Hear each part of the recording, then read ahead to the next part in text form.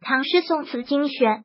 前言：上天给你关闭一扇门，总会给你开一扇窗，不会把人逼到绝路的。即便是绝境，也会绝处逢生。生命里总会有一朵祥云为你缭绕。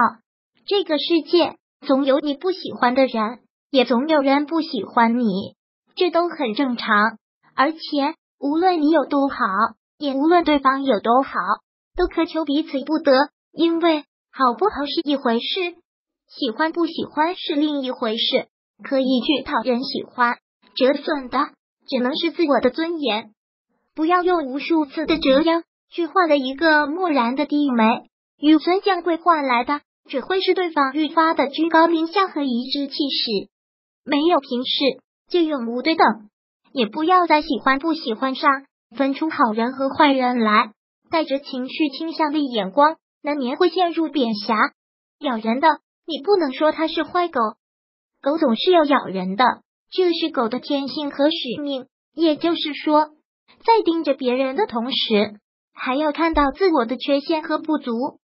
当然了，极致的喜欢更像是一个自己与另一个自己在光阴里的隔世重逢，愿为对方毫无道理的盛开，会为对方无可救药的投入，这都是极致的喜欢。这时候，若只说是脾气、情趣和品性相投或相通，那不过是浅喜。最深的喜欢就是爱。就是生命内里的粘附和吸引，就是灵魂深处的执着相守与深情对望。有时候，你的无数个回眸未必能看到一个擦肩而过；有时候，你拿出天使的心，并不一定换来天使的礼遇。如果对方不喜欢，都懒得为你装一次天使，谁也不需要逢场作戏。尽管一时的虚情假意也能抚慰人、陶醉人。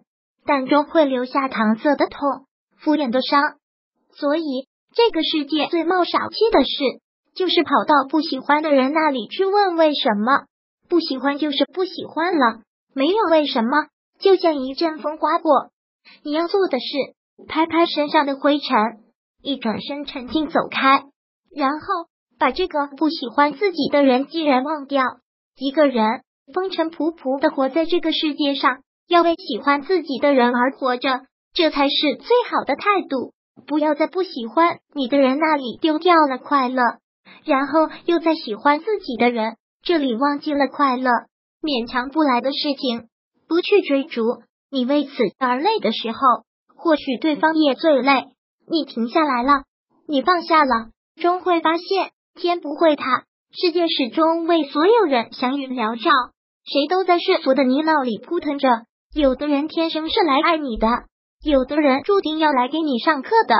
你苦心经营的是对方不以为意的，你刻苦憎恨的却是对方习以为常的。喜欢与不喜欢之间，不是死磕便是死拧。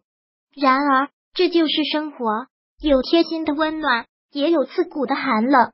不过是想让你的人生变得更加丰富、更加完整，在辽阔的生命里。总会有一朵或几朵祥云为你缭绕。与其在你不喜欢或不喜欢你的人那里苦苦挣扎，不如在这几朵祥云下面快乐散步。天底下赏心坏事不要那么多，只一朵就足够了。如果喜欢本视频，请分享并订阅本频道，别忘了按赞哦。